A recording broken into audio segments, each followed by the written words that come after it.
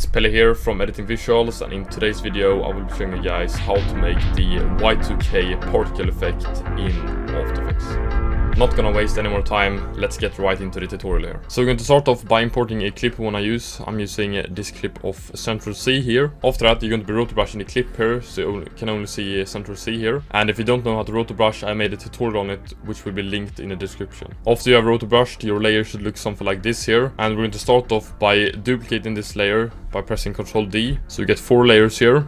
And we can make the top two layers invisible for a moment. And we can go to the bottom layer and delete the rotobrush effect. After that, go to the layer above. And here we're going to be adding CC ball action.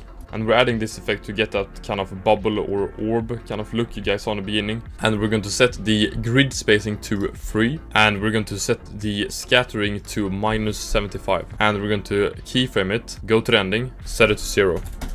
After that, go to the beginning again. Here, set the displays to 1000. Press the clock, go to the ending, set it to 0. This is the kind of look we're getting now.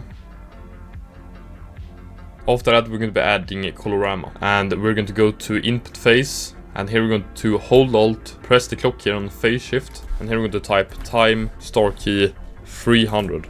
And this is the look we're getting now.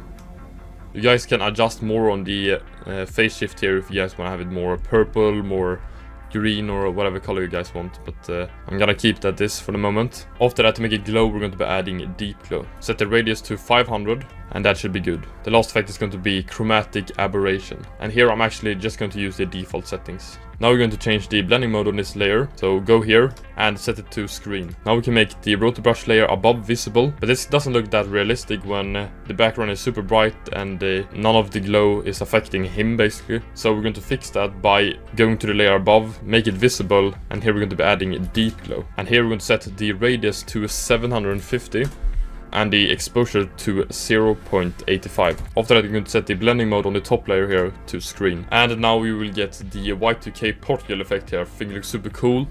But of course, if you guys want to step it up even more and make an even cooler effect, we can add some effects from my TV Glitch Pack V2. Just by adding the TV Glitch Pack V2, this is the look we're getting now. I think it's super cool. I just added the TV Glitch Effect 21 to the particle layer here and the glowing rotobrush layer here. And if you guys want to check it out, don't forget to use the discount code PELLE to save $5. And yeah, that's basically the tutorial here. If you guys enjoyed this tutorial, don't forget to like and subscribe and share this tutorial. Don't forget to check out our website editingvisual.com to really step up your editing game. This is the kind of effects you're going to be able to make. Also don't forget to check out our socials, join our Discord server, and I will see you guys soon. Take care and have a nice day.